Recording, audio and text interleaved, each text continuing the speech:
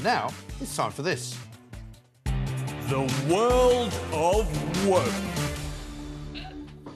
Now, it may have come to your notice that we've been witnessing one of the biggest and most expensive wastes of time in the history of mankind. Yes, that's right, the COP28 climate change extravaganza has been going for over a week now, and it's still uh, going on about epic and equal amounts of carbon and bullshit. I don't mind saying that. We've already had the gasps of horror uh, when the host of the entire charabang, Sultan Al Jaber, declared that there was no scientific evidence linking the phasing out of fossil fuel to cooling the planet, and that if it happened, it would take us all back into the caves. This week, we saw something altogether more shocking in the form of former US presidential candidate John Kerry.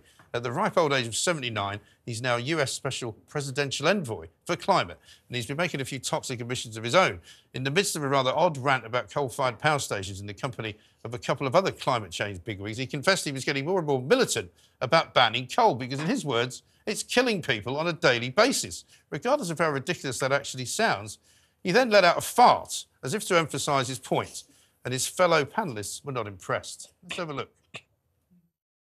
We should not measure progress on the climate crisis just by the degrees averted, but by the lives saved. I mean, that, that was it. I'm sorry. I mean, we're not going to do it again. Radio host Larry O'Connor said he let loose with flatulence on the international stage, representing us, the United States of America. Well, maybe the elder statesman should cut down on his own greenhouse gases. And that is the world of work. The world of woke. I mean, it's hard to make the COP28 any more ridiculous after the, you know, the guy that's running it says actually no scientific evidence for this rubbish.